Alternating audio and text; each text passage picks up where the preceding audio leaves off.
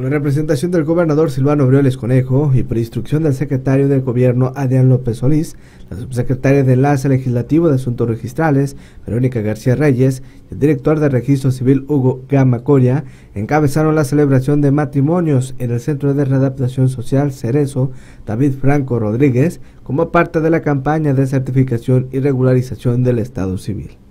El objetivo de dicho programa es que tanto los reclusos como sus familiares tengan la certeza jurídica respecto a sus acciones, además de que por medio de las documentaciones puedan acceder a programas sociales de los distintos niveles de gobierno.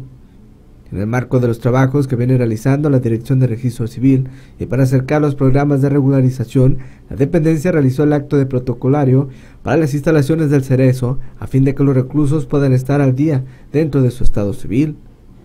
Fueron un total de 7 contratos matrimoniales, 43 regularizaciones de actas de nacimiento, 3 reconocimientos de menores y 7 nuevos registros, los que fueron entregados por parte de las autoridades estatales hacia los reclusos e hijos de los mismos, con lo que se continúa con la campaña y certificación y regularización.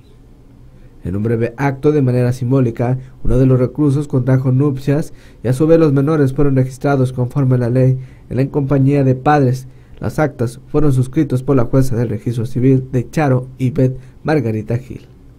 En su mensaje, la subsecretaria de Enlace Legislativo y Asuntos Registrales, Verónica García Reyes, afirmó que la instrucción del gobernador Silvano Aureoles es dotar de certeza jurídica mediante los documentos a todos los sectores de la sociedad michoacana. Tras la realización de los registros y matrimonios, las parejas pudieron degustar de bocadillos y convivir con los familiares que asistieron a acompañarlos durante las ceremonias.